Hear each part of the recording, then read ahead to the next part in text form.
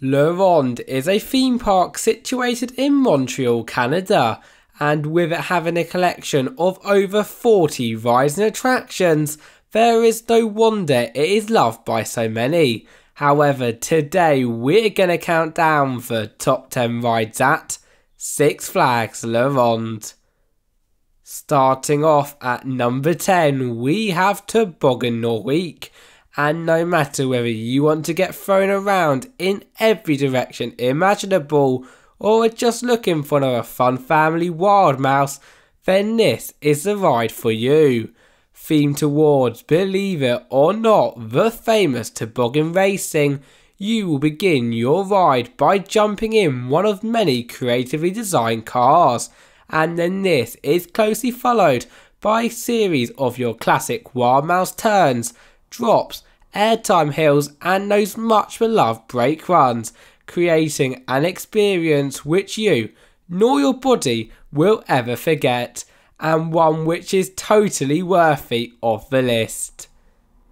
You can't have a theme park without a gyro swing, and La Ronde is no exception, as taking our number 9 spot we have Manitou, Nevertheless, before we do begin to talk about the ride itself, due to it being a very common type of flat ride, if you are heading to the park on a busy day, then we would recommend riding the more unique attractions first.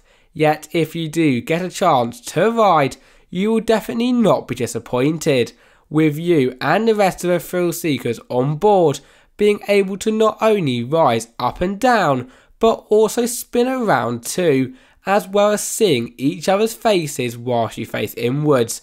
And trust me when I say it can be pretty funny to see their faces.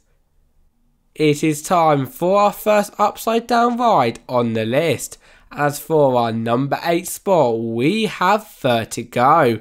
And if you guess by the name that this is not for the faint of heart, well, then you would be spot on as once you have boarded your car and for the best experience try to see outwards, you will begin to rock up and down just like your typical pirate ship. However, where this ride gets really cool is that you will constantly do this until you are literally heading upside down, providing an awful lot of hang time and an experience which will keep your heart racing till the end of the day. Have you ever wanted to soar through the air like a condor? Well, if so, then you must take a ride on our number 7 spot, Condor, as despite being your typical funfair style ride, you can do just that, with in a nutshell your bird being able to tilt from side to side, whilst also being spun from one of the four discs at the same time that they are also being spun and risen up and down. So, yeah, this ride is plain down mental, but also with its amazing views across the park, there is absolutely no doubt in my mind that this is a must do attraction on every single visit to the park. For our number 6 spot on our top 10 list, things are starting to become a lot more intense as we have Ednör, the Parks Vekoma SLC. And for anyone who has not seen or done one of these rides before, well, then you are very, very lucky, as these are plain down painful. Nevertheless, the reason why I've put this ride on the list is the fact that if you manage to keep your head in the correct position, Nothing beats the five inversions and many twists and turns that you will complete over water. Therefore, when also taking into account that due to it being an invert your legs will be dangling the entire time, I would feel wrong not to put this attraction on the list. Top 5 were, were and coming in for this spot, we have Titan the ride which has taken your classic gyro swing to the next level.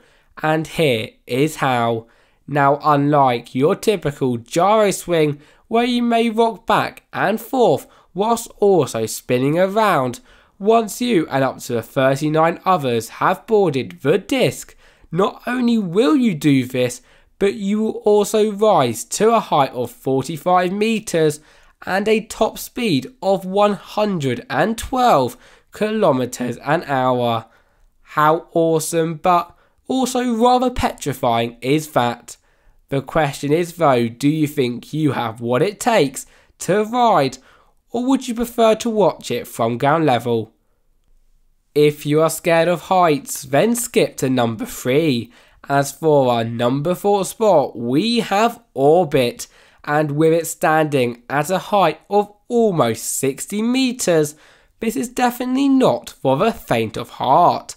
However, nor is it your normal drop tower either, as of course you will have the much beloved dreaded views and drops. But in my opinion, what makes this ride so great is the fact that you also shoot up to the top in a matter of only 2 seconds before a series of bounces causing even the biggest thrill seekers in the group to hold on tight.